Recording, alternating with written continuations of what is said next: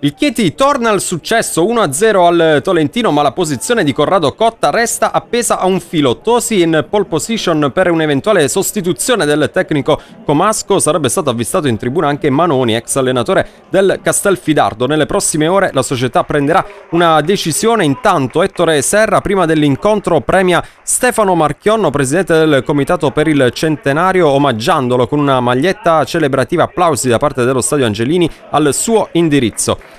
Tolentino in divisa nera con banda Cremisi guidato da Maurizio Mattoni, 5 sconfitte consecutive in campionato anche se in settimana si è risollevato dopo il passaggio del turno in Coppa Italia dopo i calci di rigore con il Fano. Tenuta bianca invece per il Chieti con risvolti neroverdi, Barbetta affianca Cesario nel reparto avanzato fuori di Innocenzo, Palmisano, Poletto recupera Giacomo Rossi che siede in panchina, Francesco Serra che qui respinge su Cicconetti confermato in porta il Chieti fatica a costruire, allora Barbetta ci prova dalla distanza, pallone che si infrange contro la traversa, apprezzabile lo spunto personale, anche se la risposta del Tolentino non si fa attendere nella sezione finale della prima frazione di gioco. 0-0 all'intervallo con questo brivido per Simone Moro pochi istanti prima del duplice fischio da parte di Leorsini della sezione di Terni. Ripresa che vede subito protagonista Serra con questo intervento coraggioso, rimane a terra dolorante il portiere del Chieti che poi però si riprende prende, il risultato non si schioda e allora è Moro, Tola,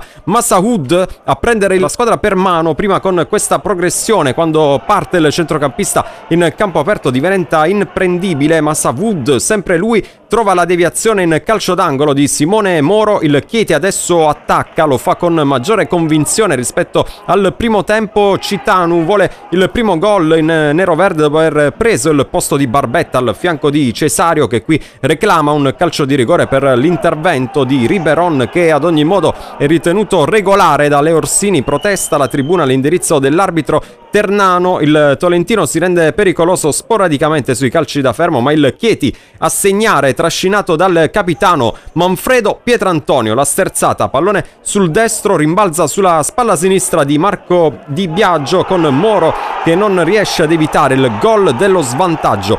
Chieti che segna gol di Pietrantonio, esulta sotto la curva Volpi, un gol che accende tutto lo stadio Angelini e Chieti che potrebbe addirittura trovare il gol del raddoppio a tempo scaduto con Amato, intervento decisivo da parte di Simone Moro, l'ennesimo per il portiere Tolentinate, il Chieti torna al successo davanti al proprio pubblico, non vinceva in casa dalla prima giornata quando si impose sul vasto Girardi una boccata d'ossigeno per Corrado Cotta, anche se per lui la vittoria ottenuta contro il Tolentino potrebbe non bastare. Ma io penso eh, che il gruppo di lavoro non sia mai stato in discussione nei confronti dell'allenatore, penso, poi magari sbaglio assolutamente, perché quando una squadra eh, ripeto, nel microciclo, nella settimana lavora, ci prova, si impegna, eccetera, eccetera, eh, va tutto bene. Io non lo so eh, se poi dopo eh, i rumors dicono quelli. Io eh, con tutti i giocatori eh, ho un ottimo rapporto, chiaramente ho un rapporto da allenatore e giocatore e non vedo perché. È chiaro che la squadra mi segue e la squadra sta crescendo sotto tutti i punti di vista e la squadra ancora oggi, ma come sempre, come sempre, ha dato tutto, ha dato tutto. Allora, ci ha provato, non ci ha provato, abbiamo rischiato, siamo andati da 3-5-2 a 3-4-1-2 perché poi si rischiano le partite Oggi la diciamo così perché è stata vinta, perché tu la partita poi la perdi, dici eh no, ma a quel punto no, a quel punto niente. Cioè la squadra è consapevole che deve correre come o più degli altri, deve avere un atteggiamento sempre comunque giusto e la squadra lavora giorno dopo giorno per cercare di migliorare queste, queste situazioni. Non sono soddisfatto del gioco che stiamo facendo.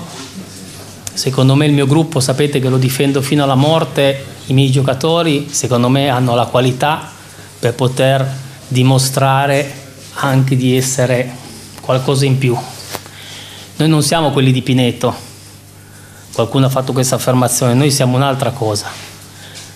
E secondo me questa qualità può venire fuori, al di là di alcune considerazioni corrette che la piazza, voi giornalisti giustamente affermate che la squadra in alcuni reparti potrebbe essere rinforzata. Di conseguenza lunedì mi riprometto di decidere se o no cambiare la guida tecnica del Chieti Calcio. Poi i ragazzi con la grinta che ha messo nel secondo tempo, perché possiamo dire che abbiamo avuto veramente uno scatto d'orgoglio, ma il gioco non mi ha soddisfatto. Quindi ci tenevo a dire queste poche parole e lunedì saprete se ho deciso oppure no di fare questo avvicendamento e quindi saprete anche se lo farò chi sarà eventualmente la nuova guida tecnica del Chieti. Va bene? Oggi abbiamo fatto un primo tempo inguardabile, secondo me, non mi è assolutamente piaciuto. Il secondo tempo è stato migliore non per il gioco, ma per la grinta, la volontà che i ragazzi si, si, si capiva, chi ha visto la partita, volevano assolutamente portare a casa il risultato. Io onestamente ho 58 anni, eh, faccio questa professione da qualche anno. Più di una volta se il gruppo non ti segue devi essere consapevole e razionale, dice signori benissimo le mie idee sono eh, in questa direzione, le vostre sono dall'altra, arrivederci e grazie, per l'amor di Dio. Tanto poi nella vita, voglio dire, non bisogna per forza eh, ostinarsi a, a, rimanere in posti dove magari mh, eh, non ci stai per 100.000 motivi. Ho avuto anche dei gruppi difficili da gestire, perché poi dopo eh, ci sono anche quelle, ma io non ho mai avuto problemi, vi dico la verità. Sono qua per ringraziare la città di Chieti e soprattutto i tifosi e chiedere scusa se al momento ci sono delle incomprensioni. Eh, sono stato accusato domenica, finita la partita, di ridere, assolutamente no, però mm, non facciamo polemiche, con qualcuno ho già parlato, gli ho spiegato il perché ridevo, sicuramente non rido dopo una sconfitta di una società per cui lavoro, grande rispetto per Chieti in primis, per i tifosi e soprattutto per la proprietà. Quindi mio, queste quattro parole volevo nuovamente scusarmi se ci sono state delle incomprensioni.